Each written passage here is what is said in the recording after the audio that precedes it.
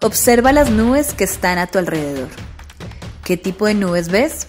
¿Las puedes identificar? ¿Son nubes bajas, medias o altas? ¿Cuál de todas las nubes son indicadores de lluvias o de tormentas eléctricas? ¿Las nubes o rastros de los aviones qué nombre reciben? Hashtag Astronomía para Todos. Hashtag Ciencia Ciudadana. Sigue el siguiente link para más información.